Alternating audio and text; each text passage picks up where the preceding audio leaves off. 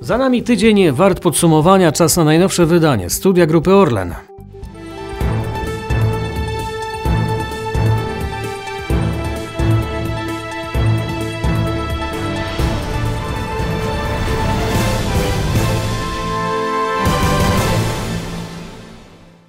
Grzegorz Szałkowski, dzień dobry. Oto najważniejsze tematy dzisiejszego programu.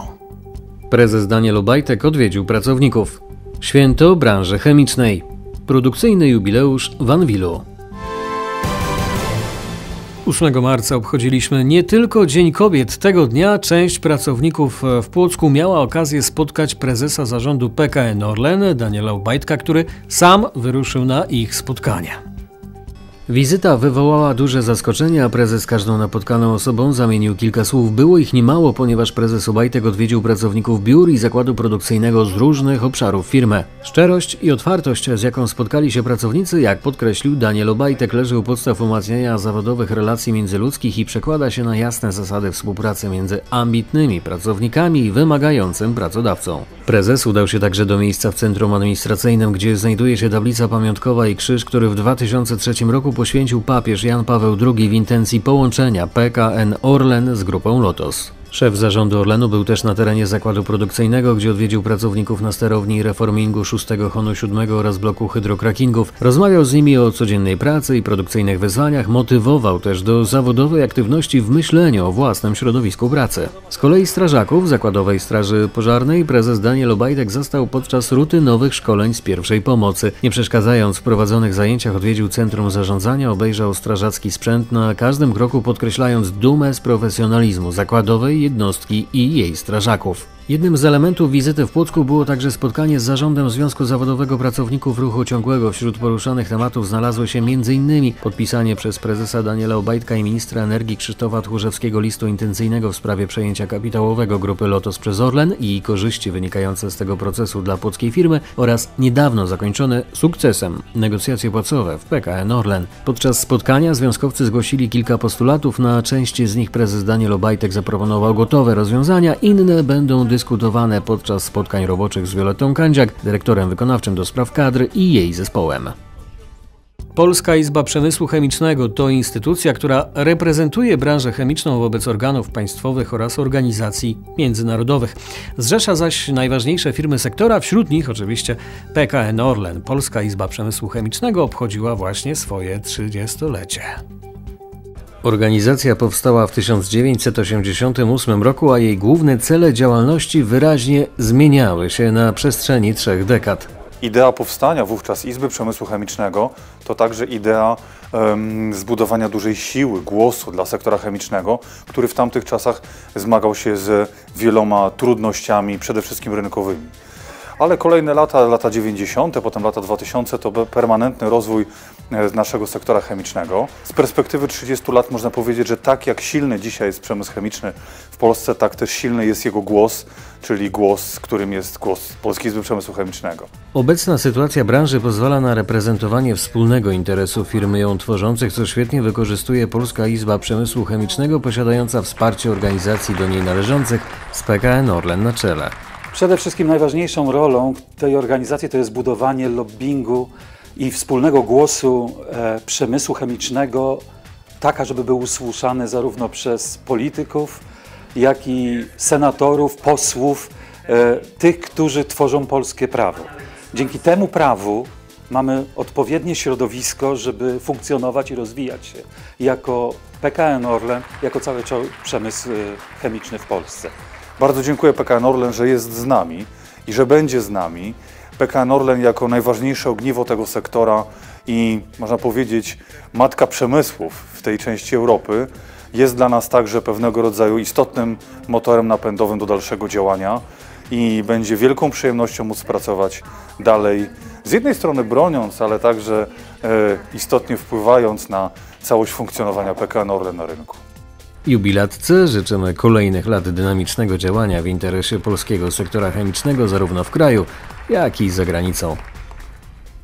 Dokładnie 35 lat temu w spółce z naszej grupy kapitałowej po raz pierwszy w Polsce wyprodukowano polichlorek winylu, czyli PCW.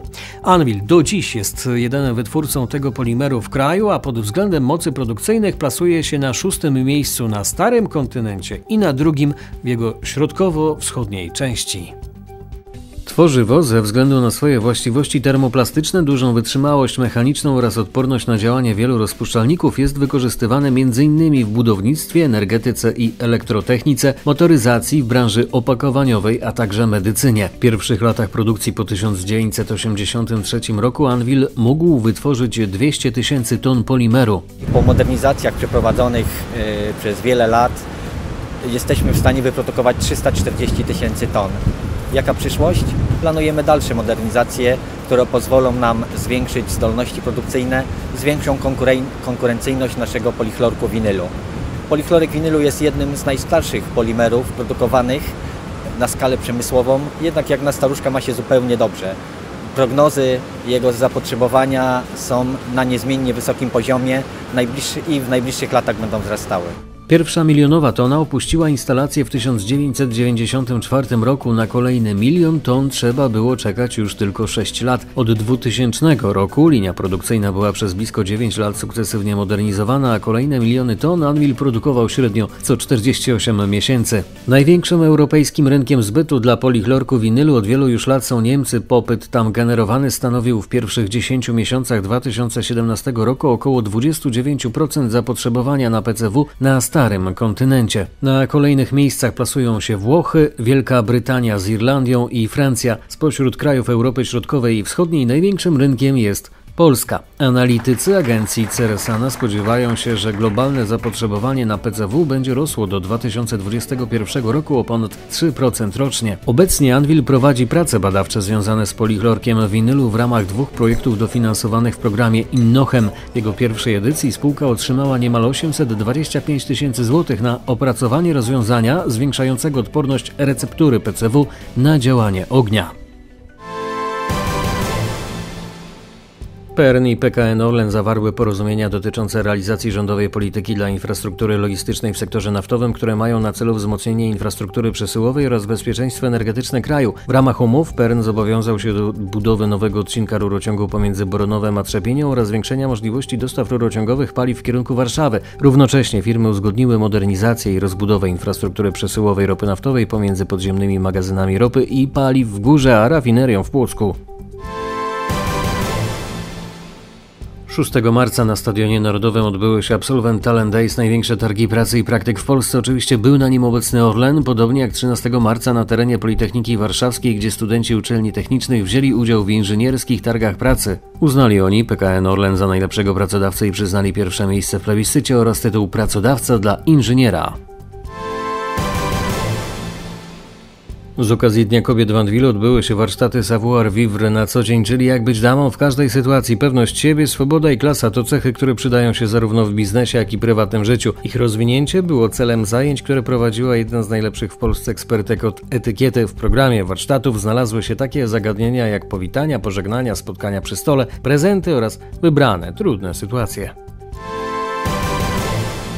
17 marca w Teatrze Wielkim Operze Narodowej odbędzie się koncert galowy Warszawski Fortepian Chopina, prezentacja pierwszej współczesnej kopii fortepianu chopinowskiego Fryderyka Buchholca. Powstała ona dzięki PKN Orlen, a sam koncert będzie symbolicznym przywołaniem pierwszego prawykonania koncertu fortepianowego F-moll z 1830 roku.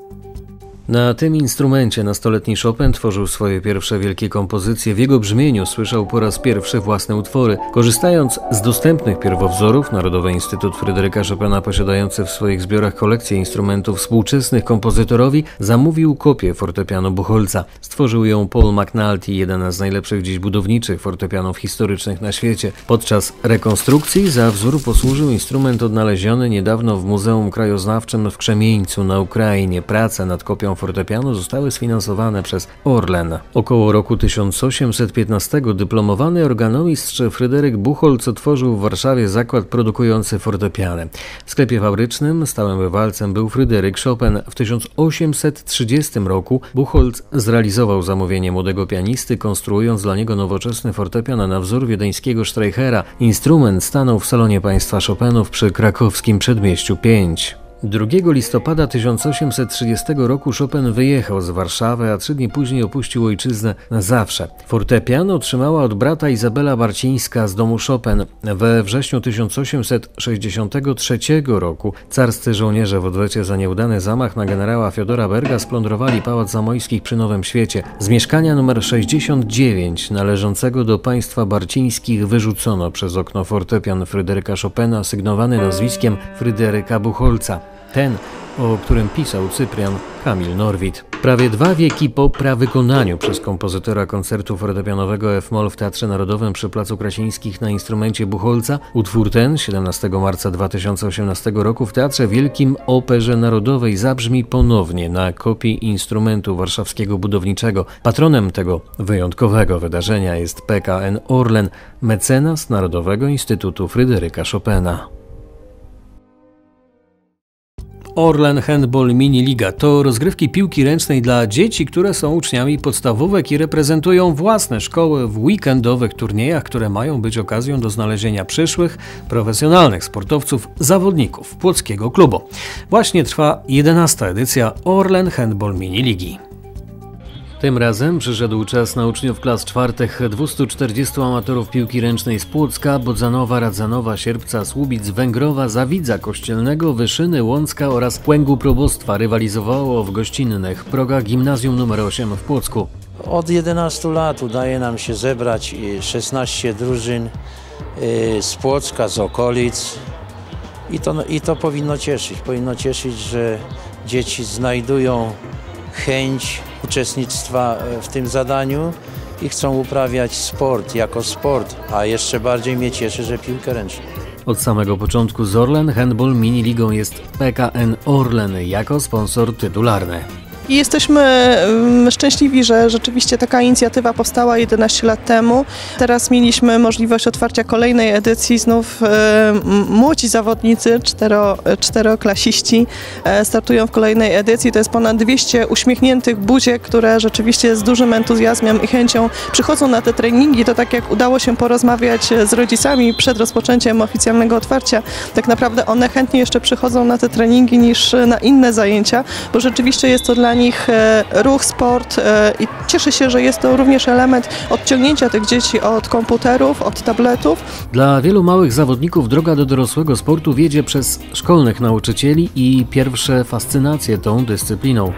E, syn poszedł do klasy sportowej tutaj w szkole podstawowej 23 w Płocku i od momentu, gdzie zaczął SKS, rozpoczął SKS, SKS były związane z piłką ręczną, przypadł mu ten sport do gustu, spodobał mu się ten sport. Chodzi na mecze piłki ręcznej, jest kibicem, bardzo mu się podoba.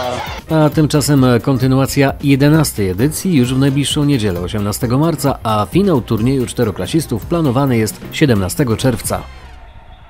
To był szczęśliwy sobotni wieczór dla kibiców piłki nożnej na stadionie Wisłę Płock. Biorąc pod uwagę stawkę meczu, kibiców nie było zbyt wielu, ale ponad 4000 osób zobaczyło wygrany mecz z Koroną Kielce, co zespołowi Jerzego Brzęczka daje duże szanse na zakończenie rundy zasadniczej w górnej połowie tabeli.